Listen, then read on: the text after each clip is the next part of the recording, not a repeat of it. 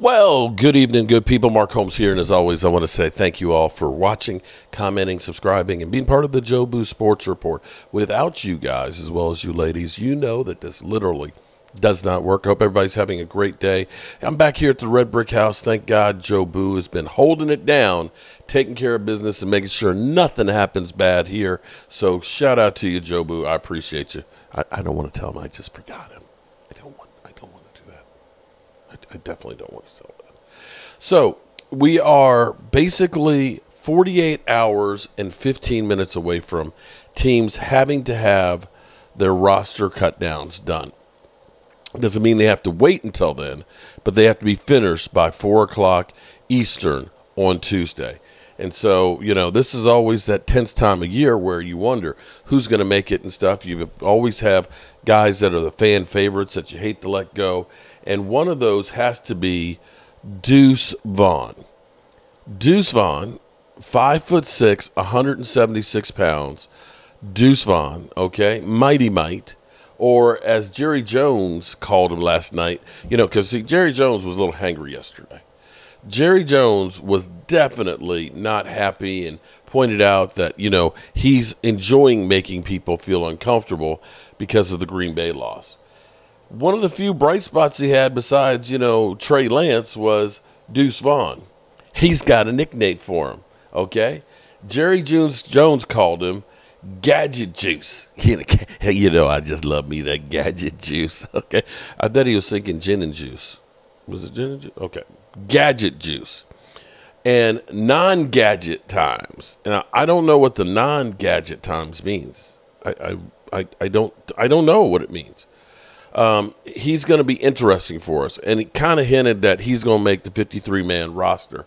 Thing is, you know, between Zeke, um, Rico Dowdle, um, Royce Freeman, and now Deuce Vaughn, you know, you, you've got a lot of guys at running back, but this is going to to be running back by committee. Now, the question here is now, now pro football, the boys, you know, skip, skip, skip. You know, the boys at Pro Football Focus, they watch a lot of football, skip. And you know, for this off season, this preseason, they have Deuce Vaughn as the number four rated running back, which is kind of interesting because you know he didn't play in that first preseason game. He didn't play. He only played in two games. He averaged 6.2 yards per carry. Now that's pretty pretty good, Skip. The question is, when you have a guy who's five foot six, 176 pounds, can they be effective? Can you trust a person of his stature? What reminds me, see, I one thing I do here on this channel is I'm old. Let's be clear here. I'm going to be 59 come October. I'm, I'm at my late 50s here, guys, okay? And I, I feel blessed for every day that I've been on this planet. But one thing um, being old has afforded you is seeing a lot of football. And I remember the Washington Redskins. I, I you know, I didn't say Commanders. I said Redskins because I don't know that you can equate really John Riggins with the Commanders. The Commanders have been a failure so far. So I mean, you know, you have to at least go back and give them props for what they were were. And during the 80s, you know, Joe Gibbs came to Washington with his Air Coryell um, offense and realized he didn't have the players for that offense. He had a, a really good running, run blocking offensive line, a very slow bruising back in John Riggins, and he decided to come up with the one back offense, which really wasn't a one back because you actually took the fullback and made him kind of a hybrid between fullback and tight end. But during those early 80s, like, you know, 79 to 85, Washington had basically, they, they, they played running back kind of by committee. They had John Riggins, who was your bruising back. You know, he's going to run you over. He was known as the Diesel. But their third down back, I don't know how many of you guys have heard the name Joe Washington. Here's what's interesting about Joe Washington because Joe Washington was another very small running back. He was five foot nine. You know, he's about three inches taller than than Deuce was, but he was only 179 pounds. Now, keep in mind, Deuce is actually stockier because he's 5'6, 176. He's only three pounds lighter than Joe Washington, who was three inches taller. So you've actually got a little bit more beef in there. And the thing about Joe Washington was he was that change of pace back. That you know you you when when you're a defensive lineman and stuff, you know you're in there and you're just getting pounded upon by this big running back that's running up the middle and things, right? And you're playing in short space. All of a sudden, you get a speed back that hits you. And to make it worse, Joe Washington behind the hogs, you couldn't see him.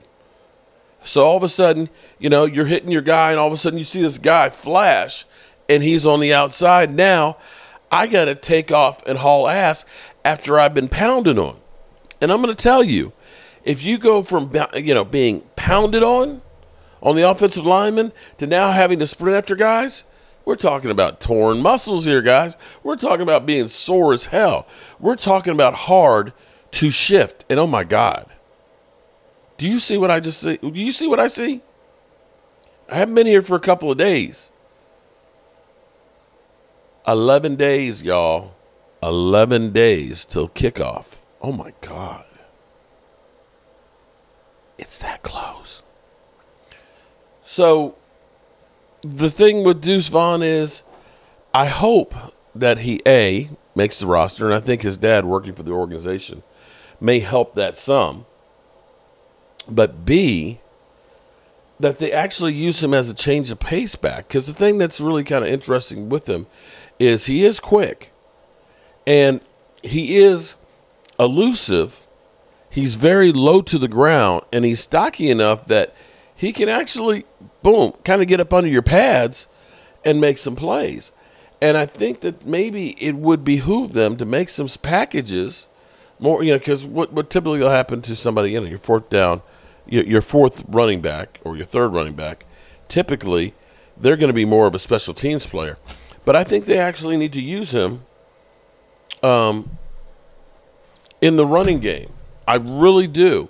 Because you have some guys, you lose a guy like that and he just pops out, flashes, it's going to be tough. So hopefully he's one of those guys that definitely makes the roster. And uh, we'll find out in the next 48 hours or so. Um, we will be doing our live stream in about an hour from now, the member call in show. I'm going to go ahead and get set up for that. So um, hopefully you guys will tune in and give us your thoughts and things. Um, I definitely want to talk a lot about Jerry Jones and, of course, you know, Gadget Juice. Um, but also talk about um, Jerry Jones' venom and this grudge that he's holding because of the Green Bay game is CeeDee's Lamb contract negotiations really just a fallacy? That they never have any intention to sign Dak or CeeDee because he's trying to hold that over their heads? Um, I think it could blow up in his face. But what do I know?